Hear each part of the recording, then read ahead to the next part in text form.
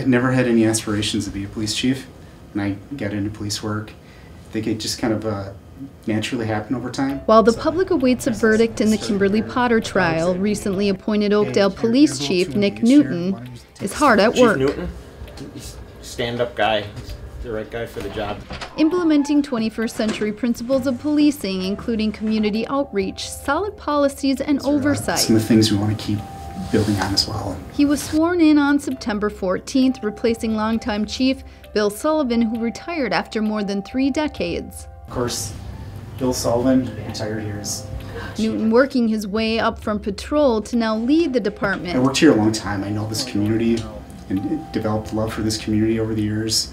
And uh, being a public servant here for over 20 years um, just felt like the right next step. He says much has changed in policing attitudes over time, but his demand for accountability remains a top Not priority. often in the past was it that uh, law enforcement officers involved in some controversial incident that people would protest at their residence. In May of 2020, a patrol sergeant at the time, Newton says the department faced their biggest challenge yet.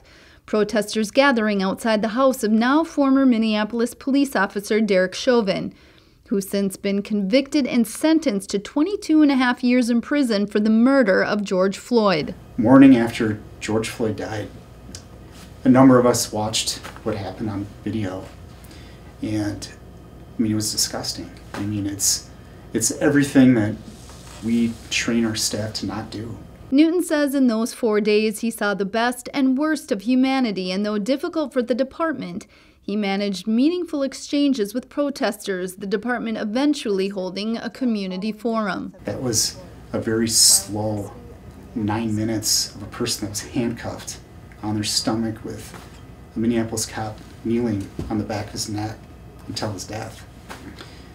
So that first day we had the protests, kind of had to step outside what we traditionally do and had a lot of convers- meaningful conversations with people saying, I watched the same video you did. I feel the same way. With decades of uh, experience, Newton may be considered a veteran of the force and acknowledges how high profile cases have left public opinion of policing at an all time low.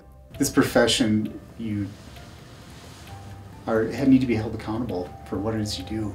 Every decision you make is going to have a consequence.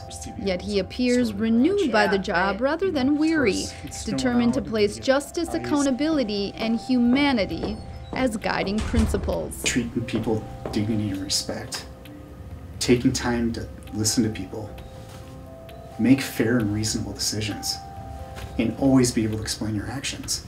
Sometimes just basic humanity overrules, and I don't think you need to look much further than what happened with the death of George Floyd.